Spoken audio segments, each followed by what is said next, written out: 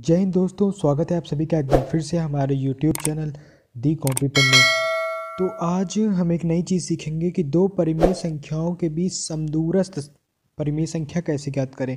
ठीक तो ऐसा क्वेश्चन आपने एग्ज़ाम में देखा होगा। तो इस तो हम इसको कैसे करेंगे, इसके बारे में आज जानेंगे। तो सिंपली मैं बिना टाइम वेस्ट किए ही डायरेक्ट क्वेश्चन पे आता हूँ। जैसे कि दो संख्याएँ दी होती हैं, दो परिमेय संख्याएँ दी होती हैं, उनके बीच हमें समदूरस्थ संख्याएँ ज्ञात करना है। तो जैसे मैंने यहाँ क्वेश्चन में चार लिखा है, ठीक? तो ऐसे ही प्रश्न में अलग ये संख्याएँ जो होती है बदलती रहती है। प्रश्न में अलग अलग संख्याएँ देते रहेगा, चार, पाँच, छः, जितनी भी ज्ञात करना हो।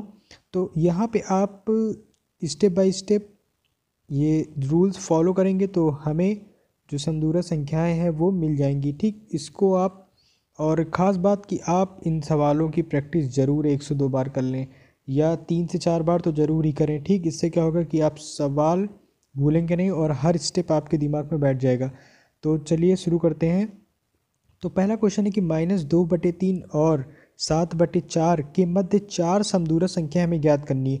ठीक तो आपको सबसे पहले क्या करना है कि इन दोनों संख्याओं में जो डिनोमिनेटर है या हर है, उसको बराबर कर लेना है। ठीक तो बराबर कैसे करेंगे? एलसीएम लेके करेंगे।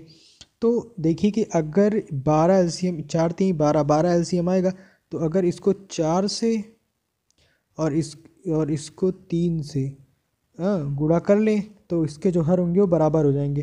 तो हमने क्या किया? माइनस दो बटे तीन और सात बटे चार का हर बराबर करने पर, ये देखिए, मैंने यहाँ पे हर बराबर कर लिया तो इसको चार से गुड़ा कर दिया, ये यहाँ पे, और ये तीन से ऊपर नीचे गुड़ा कर दिया, ठीक आंसर हर में। तो माइनस आठ बटे बारह, चार दुनिया आठ और चार तीन बारह, माइनस आठ बटे बारह और सात तक इक्कीस, चार तीन बारह और इक्कीस बटे बारह आ गया। ठीक, अब हमने क्या किया? हर बराबर कर लिया। तो पहला स्टेप क्या हो गया? इन जो संख्याएँ दी होती उनका हर बराबर करना होता है। तो हर बराबर कर लिया। अब आप एक फिगर ड्रॉ कर लीजिए समझने के लिए कि ये मान लीजिए संख्या रेपा माइनस आठ बटे बारह, ये वाली, ठीक, और इधर इक्कीस बटे बारह। ठीक, अब हमें कितनी समदूर संख्या चाहिए? चार। एक, दो, तीन, चार। चार चाहिए? आपने मार्किंग कर ली। अब देखिए कितने भाग बनाएगी। तो यहाँ से यहाँ तक एक भाग, दो भाग, ठीक, ये एक भाग, दो भाग, तीन भाग, चार भाग, पाँच भाग। यानी चार समदूर संख्याएँ ज्ञात करनी है तो हमें पाँच भाग मिलेंगे।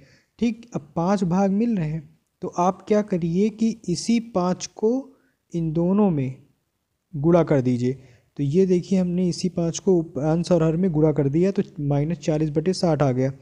अब ऐसे ही हमने दूसरी वाली संख्या में भी जितने भागों में बांट रही है, उसी संख्या को दोनों अंश और हर में गुड़ा कर दिया तो 105 बटे साठ आ गया। ठीक तो सबसे पहले हमने क्या किया था? हर बराबर किया था। ठीक, हर बराबर करने के बाद दोनों संख्याओं में जितने भाग हमको मिल रहे हैं, उसका अंश और हर में गुणा करते हैं। ठीक? आप ऐसे भी समझ लीजिए, अगर जितनी भी समदूरा संख्याएँ निकालनी, उसमें प्लस एक कर दीजिए। चार निकालनी है, ठीक? तो प्लस एक हमने किया पाँच। तो पाँच से अंश और हर में गुड़ा उसके बाद माइनस चालीस बटे साठ और एक सौ पाँच बटे साठ हमें मिल गया। अब अगला स्टेप होता है कि हमें अंशों का अंतर ज्ञात करना होता है। ठीक? अंशों का अंतर ज्ञात करना तो अंश का अंतर आराम से ज्ञात कर लेंगे तो 105 बड़ी संख्या है। ठीक तो ये 105 और अंतर याद करना है तो माइनस का साइन और ये माइनस चालीस तो लिखा हुआ है। तो जब ब्रैकेट खोलेंगे तो माइनस माइनस प्लस हो जाएगा। तो 105 और 40 यानी 145 तो अंशों का अंतर कितना है? 145 बस, इसके बाद 145 अंशों का अंतर आ गया। अब इसके बाद जितने भागों में बांट रही है, यानी एक, दो, तीन, चार, पाँच पाँच भागों में बांट रही है ना तो जितने भागों में बांटे उसको इससे डिवाइड कर दो। ठीक इसको इसके इससे भाग दे दो। तो भाग देने के बाद हम, हमको कितना मिला? उनतीस। बस यहाँ से आपका सवाल बहुत ही इजी हो जाता है। ठीक? इस, बस इसमें क्या करना है कि आपको अब संख मतलब जितनी भी समदूर संख्या ज्ञात करनी है, उनमें आप इससे प्राप्त उत्तर को जोड़ते जाएँगे समदूर संख्या मिलती जाएँगी। ठीक? तो चलिए दिखाता हूँ कैसे ये होता है। तो उनतीस हमको आंसर मिल गया इससे भाग देने पर। ठीक? तो पहली संख्या आप ज्ञात करेंगे तो तो इधर माइनस चालीस बटे साठ थी। आप लेफ़्ट साइड से लीजिए। तो हमने इसमें उनतीस जोड़, अब आप ये मत करिएगा कि माइनस चालीस बटे साठ प्लस ये फिर से लिखता हूँ माइनस चालीस, ठीक, बटे साठ है तो आप इसमें प्लस उनतीस, पूरे में नहीं करना, हमें सिर्फ़ अंश में जोड़ना है, इसका ध्यान रखिएगा। कि आप यहाँ पे एलसीएम लेके करते हैं तो गलत हो जाएगा, हमें सिर्फ़ अंश में ऐड करना है, जो भी उसका उत्तर आएगा। तो हमने इसको ऐड किया तो ये माइनस चालीस है, प्लस है तो माइनस हो जाएगा तो माइनस ग्यारह बटे साठ हो गया। तो ऐसे ही जो संख्या मिलती है उसमें उसमें फिर हम उनतीस को ऐड करेंगे। तो हमारा अट्ठारह बटे साठ आ गया। ठीक तो पहली संख्या मिल गई, दूसरी संख्या, अब तीसरी संख्या कैसे ज्ञात करेंगे? तो जो हमको यहाँ से उत्तर मिलेगा अट्ठारह बटे साठ, इसमें फिर उनतीस जोड़ देंगे।